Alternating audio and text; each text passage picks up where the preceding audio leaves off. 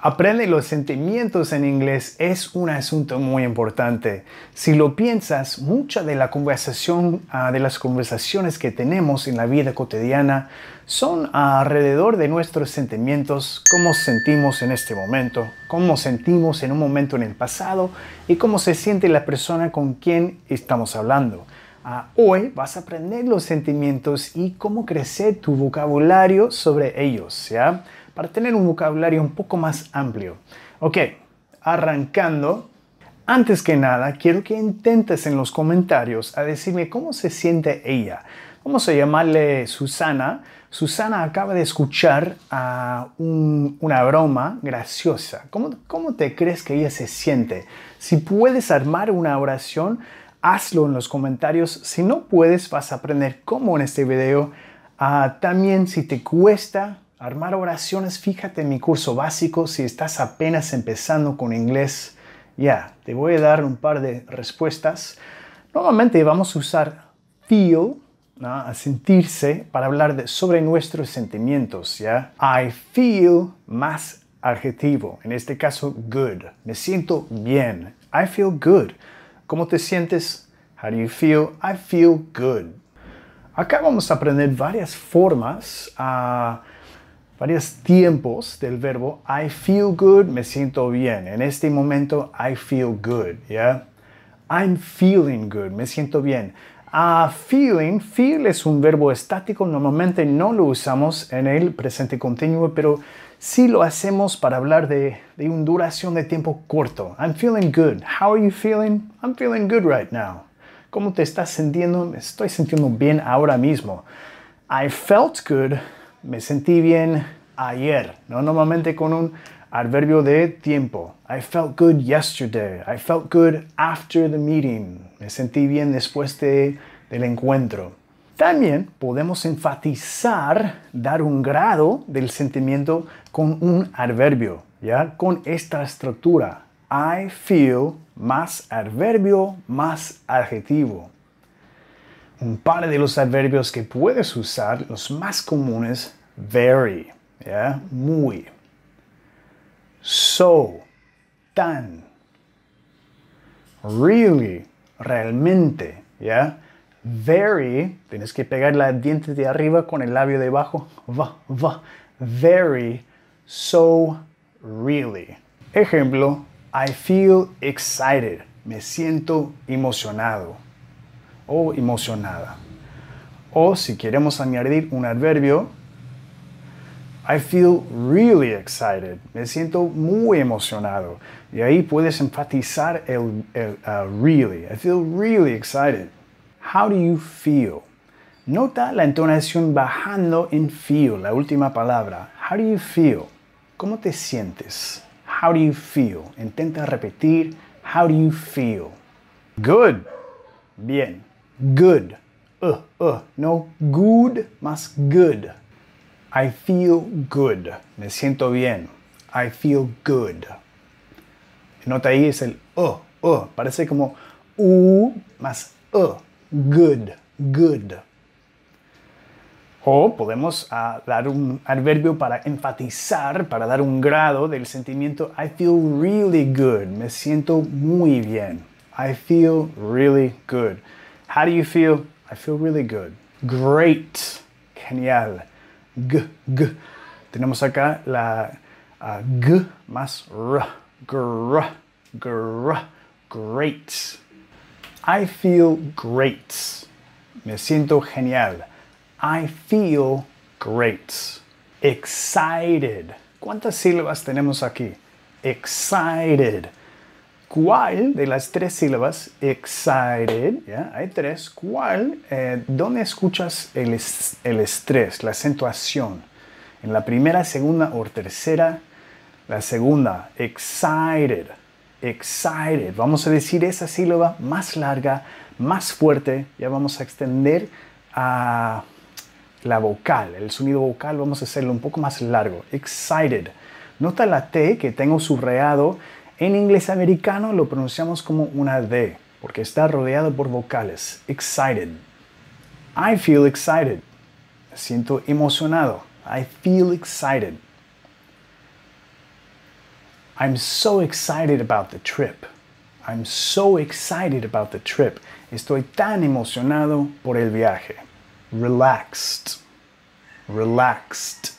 Nota la E del final, estamos pronunciando como una T. Relaxed. Relaxed. Y acá la segunda sílaba lleva el estrés, la acentuación. Relaxed. La RE al comienzo, vamos a decir rapidito y corto. Relaxed. I'm relaxed. Estoy relajado. I'm relaxed.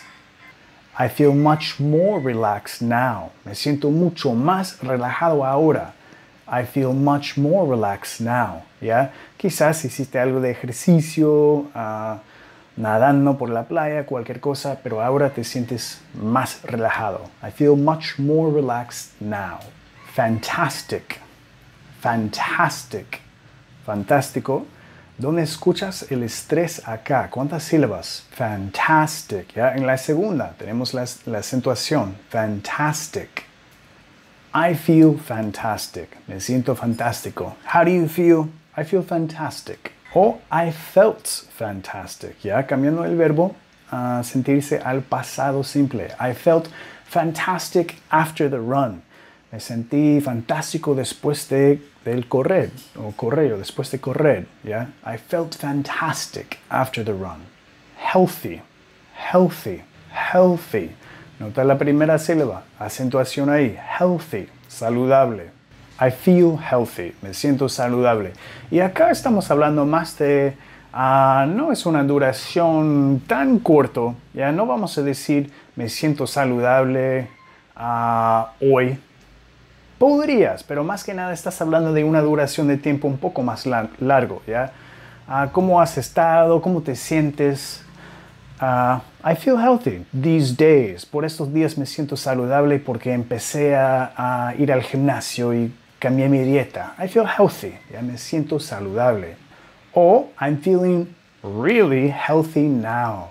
Ah, me siento realmente saludable ahora, ya después de mudar a la nueva ciudad, después de uh, salir de mi trabajo que me daba tanto estrés. I'm feeling really healthy now. Yeah? I'm feeling really healthy now. Nota ahí, tenemos que decir I am feeling. Uh, necesitamos el verbo to be como auxiliar y lo vamos a reducir. I am, I'm. I'm feeling really healthy now. Motivated motivated, motivated. Nota acá, las dos T's uh, están subrayados y lo reemplacé con D's para otra vez uh, enfatizar que en inglés americano las, las vamos a pronunciar como, como D's en dog. Motivated, motivated. I feel motivated, me siento motivado. Acá, uh, I'm very motivated. Les di porque también es útil, útil a saber cómo decirlo. Nota acá, no estoy diciendo I feel, más I am motivated. Y de aquí estamos hablando más de, de tu carácter, ¿ya? I'm a very motivated person. Soy una persona muy motivado, ¿ya? Que quizás ahí lo puedes tirar en una entrevista de trabajo, ¿ya? I'm very motivated. I'm a motivated person. Estoy muy motivado o soy una persona motivado, ¿ya? Awesome, impresionante, awesome. ¿Dónde cae la acentuación ahí? Awesome, awesome. Y nota acá, awesome es un poco más informal. Quizás no lo vas a querer decir una, en una entrevista de trabajo, pero la gente lo dice mucho, ¿ya? I feel awesome. Me siento genial. Me siento increíble. I feel awesome. Ah, ah, awesome. Lucky.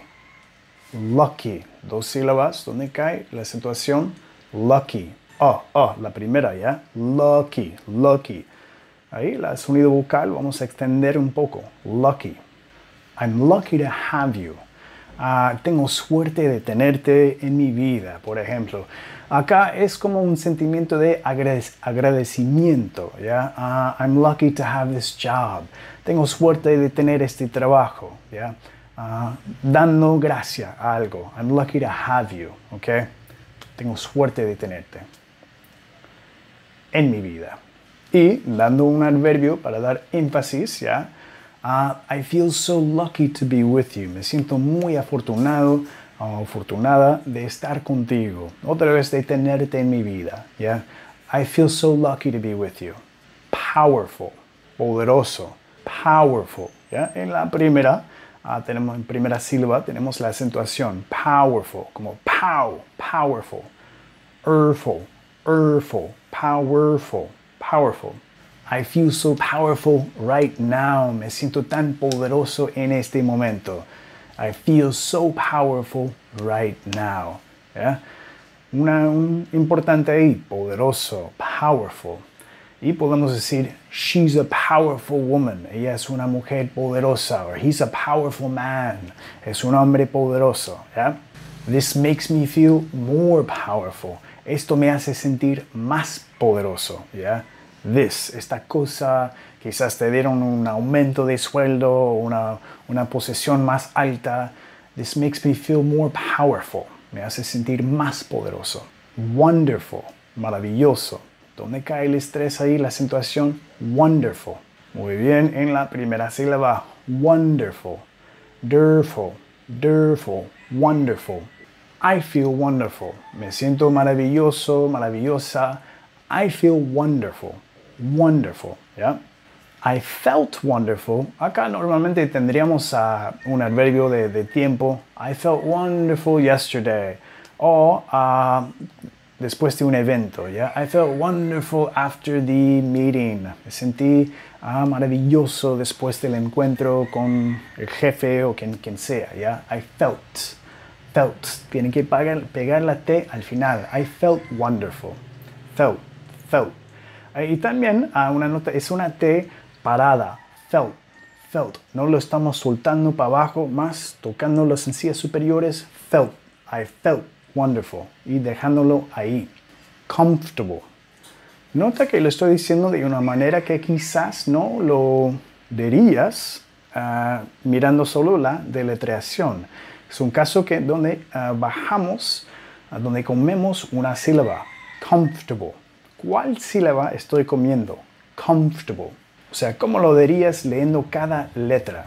Comfortable, ¿ya? No es comfortable, más comfortable. Estamos comiendo esa sílaba. Cómodo, cómoda, comfortable. I feel very comfortable with you. Me siento muy cómodo contigo, ¿ya? Me siento en casa contigo. I feel very comfortable with you. I'm really comfortable here. Uh, estoy muy cómodo aquí y acá también estamos usando el I am, I'm uh, para hablar más de un tiempo un poco más largo. ¿ya? ¿Cómo te sientes en tu nueva casa? Uh, I'm really comfortable here. ¿ya? No es en este momento necesariamente, pero últimamente he sentido muy cómodo aquí. ¿ya? I'm really comfortable here. O en tu nuevo trabajo. ¿ya?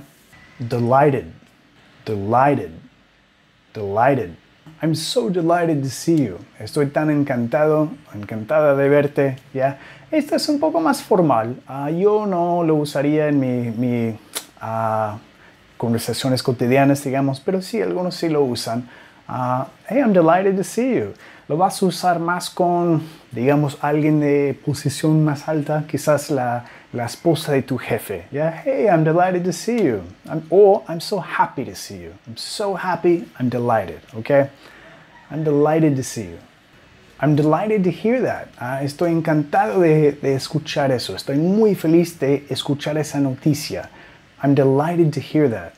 ¿Ya? Otra vez con alguien de, uh, que, quieres, que quieres mostrar mucho respecto. Un profesor uh, en la, la, la, universidad. Oh, I'm delighted to hear that. I'm so happy to hear that. ¿Ya? Cuando no hay mucha cercan, cercancía, no sé cómo decirlo, cuando no están muy cerca, cerca, y ahí quizás vas a tirar el delighted. Y terminamos con el happy. Happy. ¿Dónde cae el estrés en happy?